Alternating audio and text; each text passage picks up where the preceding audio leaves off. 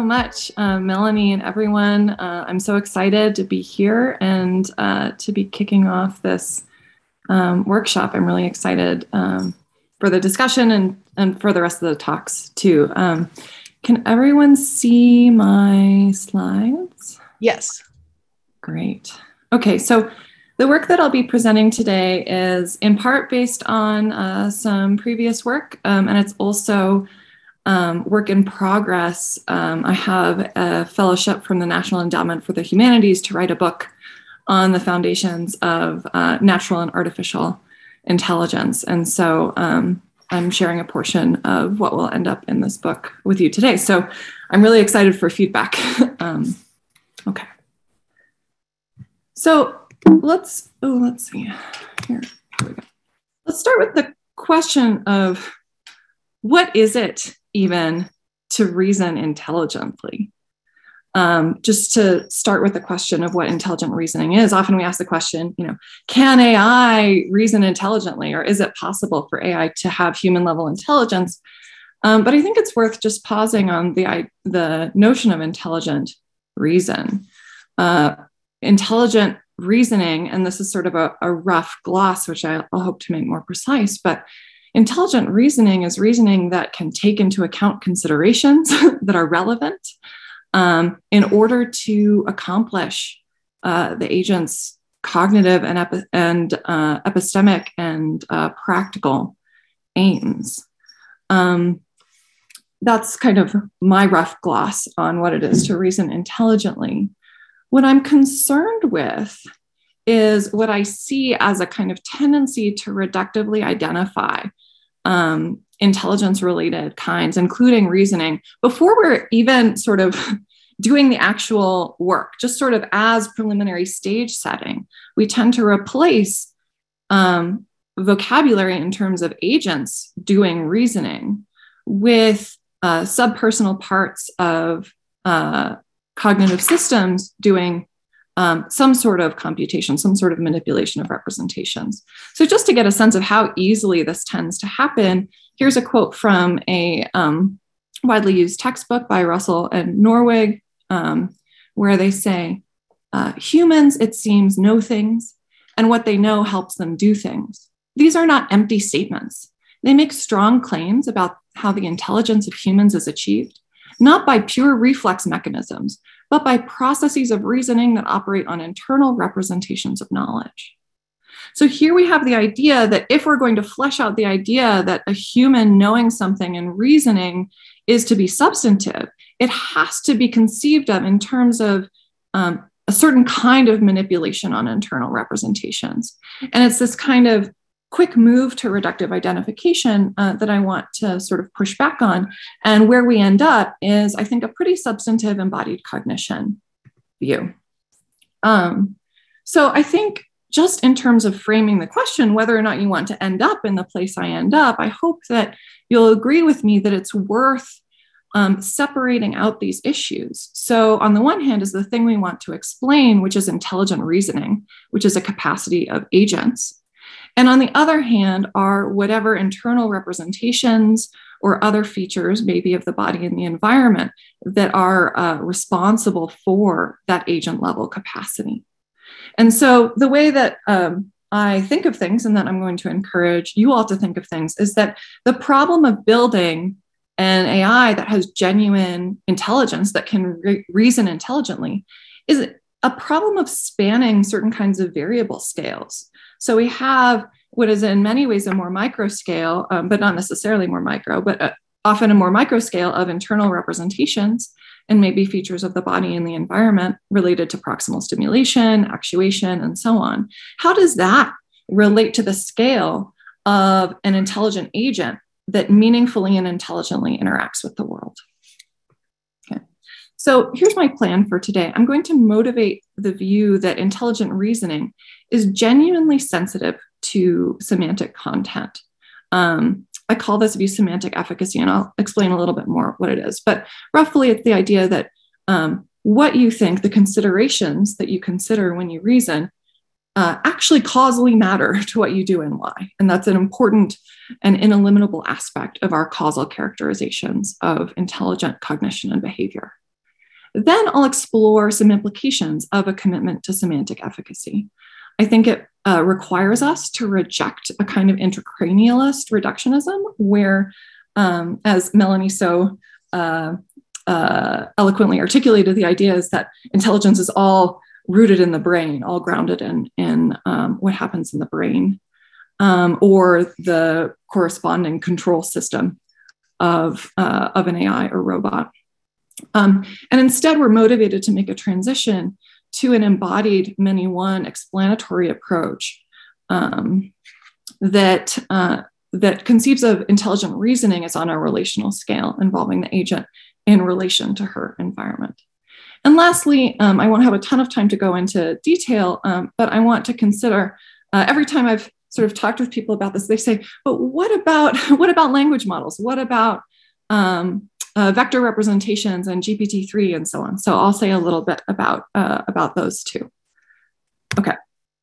Um, by the way, um, these are some of my favorite intelligence systems. These are my stepkids over on the left and a family friend on the right, and they make lots of uh, appearances throughout my slides.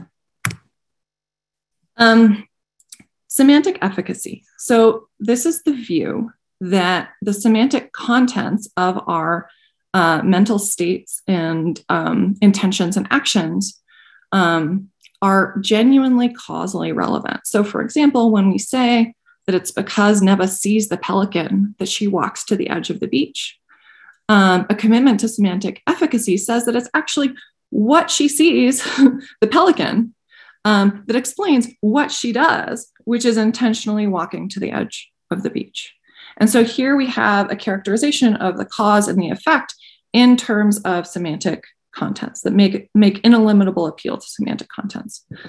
Um, another example is where when you're deciding where to send your child to school, you weigh a lot of considerations about um, the various schools, and eventually you come to your decision uh, according to semantic efficacy, the considerations themselves, your weighing of them, are causally um, is causally relevant.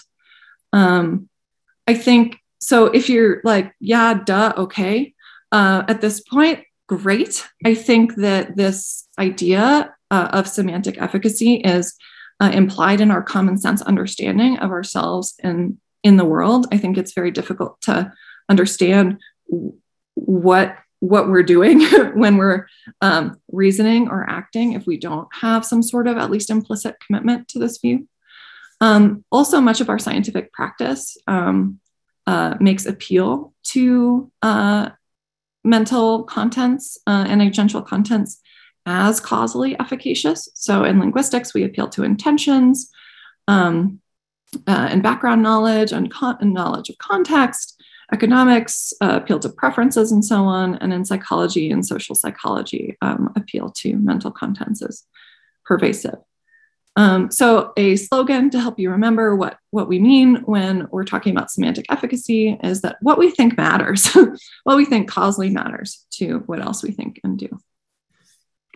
So um, from a commitment to semantic efficacy, I think there's a very straightforward and general argument for embodied cognition. Um, so the first premise is semantic efficacy. So um, uh, that mental processes, uh, I'm slightly rephrasing it here, but I tend for it to be the same mental processes are generally significantly inherently content involving. So, like reasoning is inherently content involving.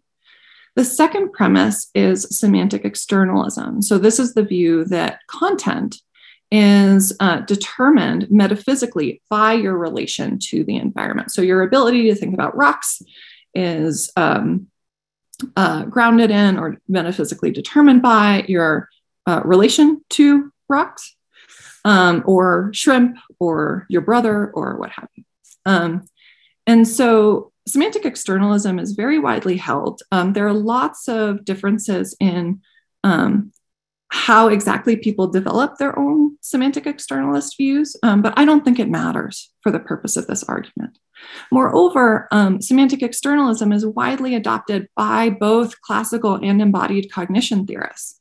So people who accept intracranialism and people who reject it.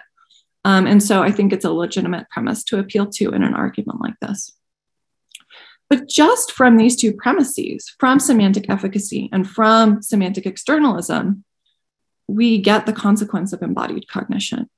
Because if mental processes, if the causal properties of mental processes uh, involve the contents of our mental states and, and uh, intentions and so on, and those contents are uh, in part determined by our relationships to the body and to the world, then those processes themselves will be determined by our, in part, by our relation to our bodies and to our worlds. So it's worth it's worth pausing on this um, because this is sort of the foundation of everything else I'm going to say.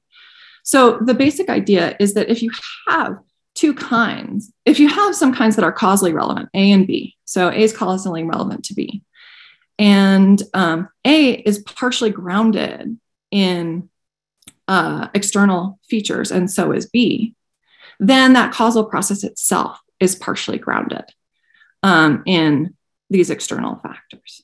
And consider what it would be for this to be false. okay, so if um, if you said that A and B are partially externally determined, but um, and A, A causes B, but um, but the external factors don't make a difference to the causal relation, then sub, some sub portion of A and B would be causally sufficient. And so you wouldn't need to appeal to A and B as such. So, um, so I think this argument is valid.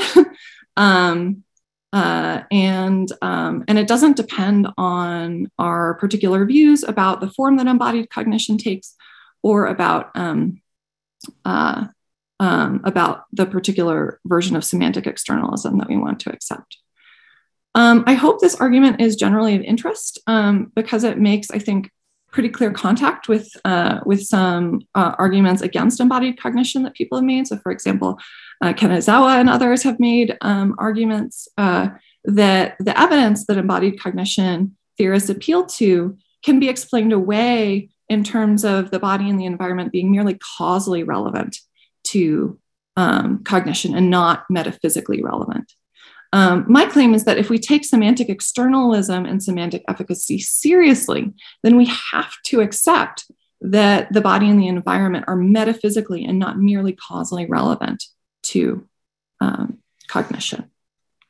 Okay.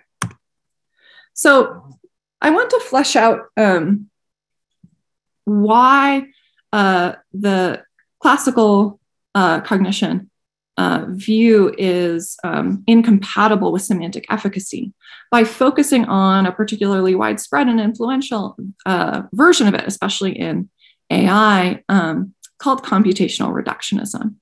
And this is the view that mental states and processes can be given characteristic descriptions in computational terms, and so implemented entirely by uh, intracranial algorithms. So this is the view that perception is 3D representation that's the result of some kind of sensory processing, um, that episodic memory is a reconstructive computational process, or decision making is the execution of an optimization algorithm.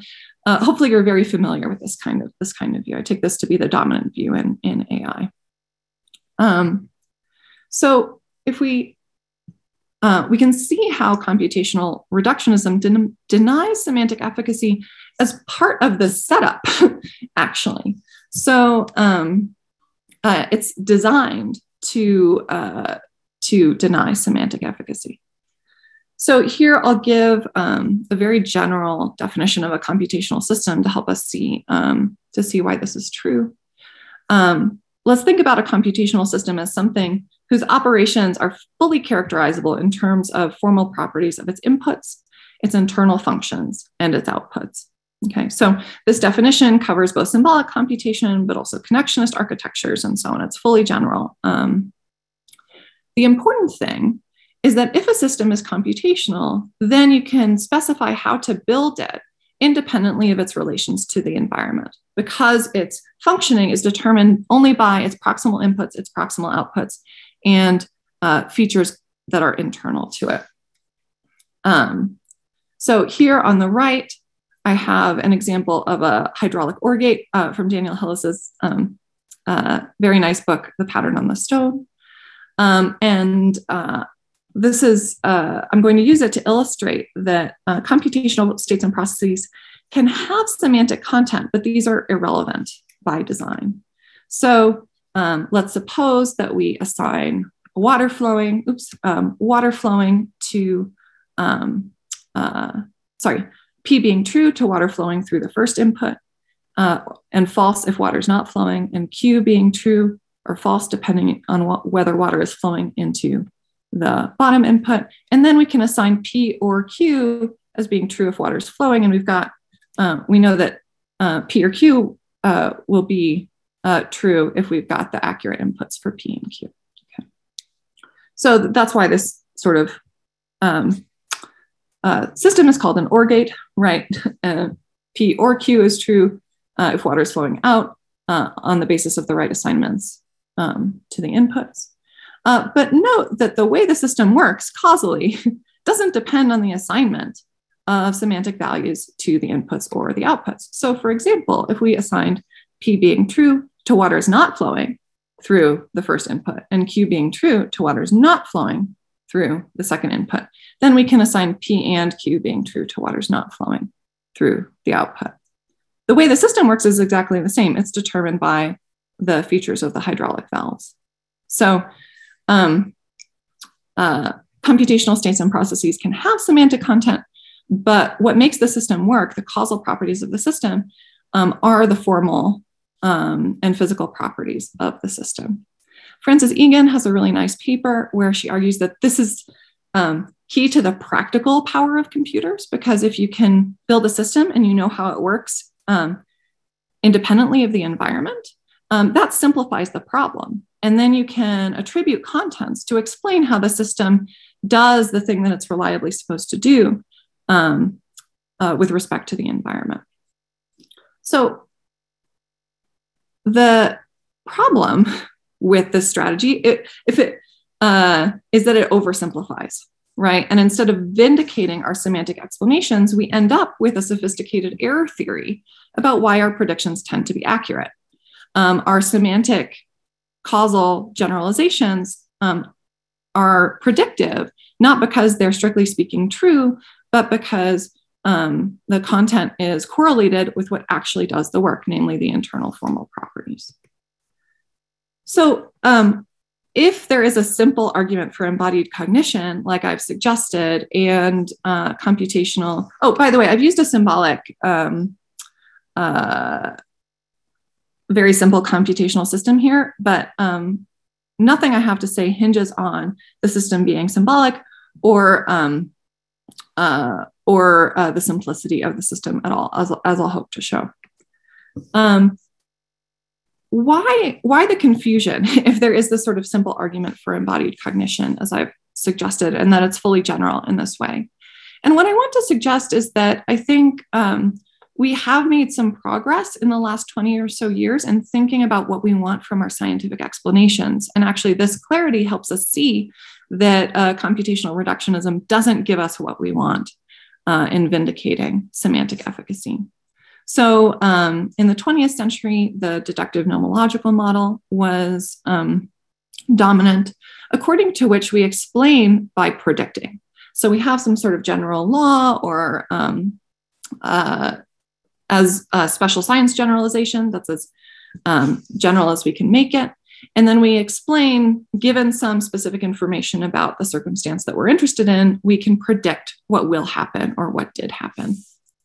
Um, in, and if you think that explaining is predicting, then the intracranialist computational approach does fine because it vindicates the predictive power of our semantic generalizations. Because semantic contents are correlated with the formal properties that do the causal work, um, they're still predictive in the way they're supposed to be. And so, um, this view about uh, scientific explanation, I think, is what underlies people's idea that um, uh, computationalism and intracranialism more generally um, uh, vindicates um, the idea that what we think matters. However, over the last 20 years or so, there have been uh, sustained and, to many people's minds, convincing arguments that we should think about um, scientific explanation in a very different way. So instead of thinking of explanatory power as solely deriving from prediction, the idea is that we're trying to describe the difference making structure in the world. We're trying to describe what makes a difference to what. And um, if that is what we're trying to do, if we're trying to cite the actual difference makers, um, then computationalism and intracranialism more generally don't do the trick. So um, this kind of difference making approach appeals to facts like, for example, when we uh, ca- causal explanation has an asymmetry that prediction often doesn't have. So we want to explain the length of the shadow in terms of the height of the flagpole and not the other way around. And also, um, often we don't care how general our, um, our generalizations are. In many cases, especially in many special sciences, uh, the best we can do is pretty local and context specific explanations. But we feel like we've done our job if we've accurately explained the structure of the, of the target system. And so, um, uh, and so this has led a lot of people to think that um, that really what we're after is understanding the difference makers of systems that we're um, studying. And if that's our conception of explanation, then on the computationalist account, mental contents don't explain. Um, we're actually giving an error theory. We're citing something that's merely predictive uh, rather than genuinely explanatory. It would be akin to citing uh, the barometer as causally relevant to whether a storm comes because you can predict whether a storm comes because, uh, by the barometer reading. So, um, where do we go from here?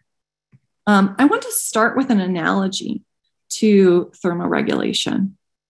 So, thermoregulation is an organism level capacity. Um, it's attributable in the first in- instance to organisms.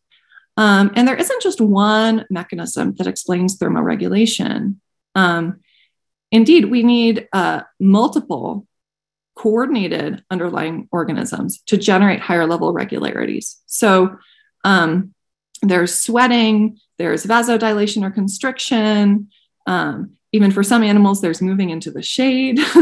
um, there are uh, there's neural processing that needs to occur. So there are multiple different underlying mechanisms that are coordinated with one another, so that um, we can preserve the higher level property of thermoregulating across a wide range of circumstances.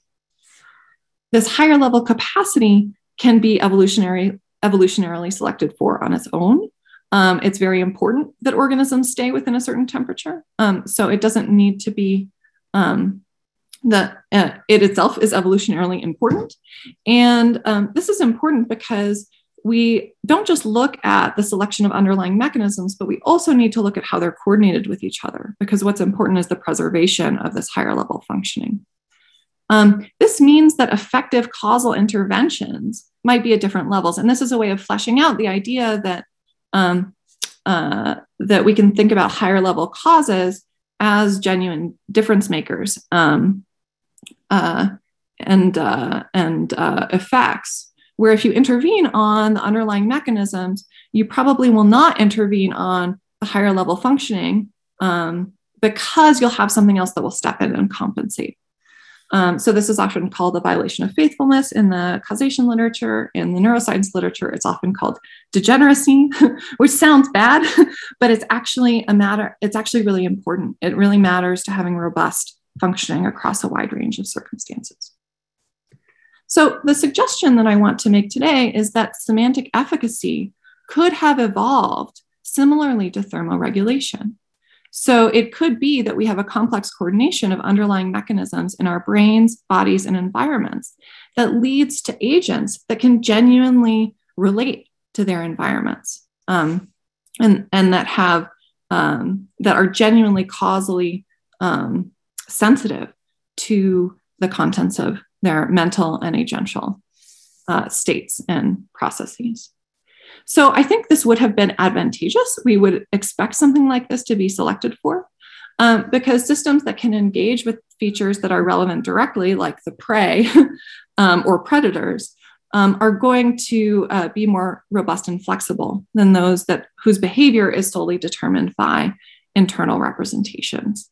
And why should that be? Well, as we've been discussing, um, the predictive power of the kind of computationalist approach relies on there being this correlation between what really does the causal work, the internal formal properties of the representations, and the features out there in the environment that the um, that the system is supposed to be reacting to. And um, in a complex and changing and uncertain environment, a world like we live in, it is easy to bring these things out of sync with each other so that whatever the internal um, processes, um, the internal system is no longer in sync with what really matters. Um, and so we would expect a system whose behavior is solely driven by internal representations to be successful in specialized circumstances, uh, but not to be robust across a range of circumstances, because this connection between formal property and semantic property is contingent and requires an appropriate um, setup in order for it to be, um, uh, in order for it to uh, work. So we can imagine evolution selecting from systems that act only on internal representations to ones that are complex enough that they can genuinely, meaningfully interact with the world. That's the hypothesis. This allows us, for example, to understand the frame problem for AI in a different way. So, um, people, uh, so the frame problem for AI is the question of how you can design an intelligent machine to use information so as to behave competently with respect to the kinds of tasks that a genuinely intelligent agent can reliably and effectively perform. The computational reductionist and indeed the intracranialist construal of this problem is uh, to, to uh, fill it out as um, the problem of how to build a computational system whose internal formal properties respect the semantic properties, are homomorphic to those semantic properties. But what if systems actually meaningfully use information? What if the problem cannot be solved by building a formal system that is homomorphic to the semantic properties in the environment because the environment is um, uh, complex and changing? Um, this would mean that we are good at building specialized systems that can even surpass humans in some instances, but we would inevitably get stuck with brittle and specialized systems. And this is, in fact, what I think we find.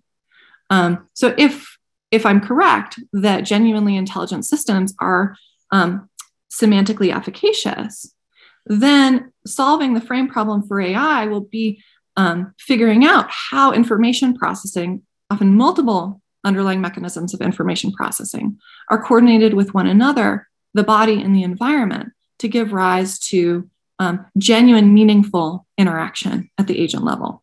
So the notion of using information is actually different in the intelligent agent sense than it is in the computational sense.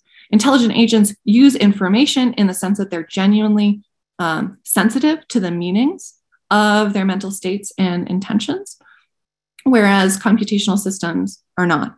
And it's respecting this important difference that's going to allow us to actually, um, I think, take the next leap in AI research. Okay, so in the couple of minutes that I have left, I'm going to answer um, what might be a burning question for some of you, which is that so far my examples have been pretty simple systems. Um, why should we think that the same issue arises for the really impressive um, connectionist uh, architectures that um, have been developed over the last 20 years? So uh, the same problem arises because the complexity in the internal features of these neural networks um, doesn't matter because these systems are still designed so that they have causal joints at the inputs and the outputs. So while there's a lot of complex connection internally in ways that are really important, um, we're still carving off the computational system from the body and the environment in ways that prevent us from spanning these variable scales. So if we still have, the claim is that if we still have these cleanly defined inputs and outputs, then we won't be able to build a system that is um, related to the environment in a complex enough way so that the agent counts as meaningfully interacting with the world. Um, so, an architecture for a truly intelligent system, I think, would have to work to dissolve these boundaries between inputs and outputs so that the uh, reasoning of the system is genuinely sensitive to features of the world. Um, so you would involve, you would have a, an architecture with much more causal loopiness, to use Susan Hurley's uh, highly technical term, um, causal loopiness um, with respect to the information processing in the body and the environment, so that ultimately those boundaries would dissolve um, when you look at the the whole agent level. Um, so when we think about things like vector, so what about the impressiveness of things like um, uh, vector representations? So recently, many people have been impressed um, by um, the ability of um, vector representations to do something that looks like heuristic reasoning. So um, uh, these vector representations, there's wide variation, but most of them, um, they're basically trained up to predict the occurrence of nearby words. So either the words that are going to come immediately after the sequence or prior to um, prior to the sequence. And once you train up um, a system to be able to um, uh, predict the occurrence of nearby words, you have as a result these vector representations. And you can do vector algebra over these representations in ways that look like analogical reasoning. So, for example, if you take the vector for Germany and you add the vector for Berlin, and then you subtract the vector for France, what is the closest thing? The vector for Paris. Okay. And so this kind of um, uh, this uh, ability of vector representations to do what look like analogical reasoning um, has impressed a lot of people um, so that they think that maybe something like this is the foundations of our ability for heuristic reasoning too. Um, a problem though is that we often look at the success cases and not so much at the larger picture, um, which I think is really important if we're dealing with systems where we know we can build highly effective specialized systems, uh, but there are concerns about whether that is um, going to get us to this general intelligence that we're interested in. So this is um, a concern about Melanie's fallacy one that um, that just doing more narrow AI leads us to general AI. Um, and so if you look toward the top and we're looking at the accuracy of uh, some of these um, uh, vector representations for say comparative uh, analogies, they do quite well. First, uh, the first result is 91% accurate. But if we look down at the bottom at SAT questions, um, even if you go to the top 20 um, top 20, uh, we're only at 10% accuracy.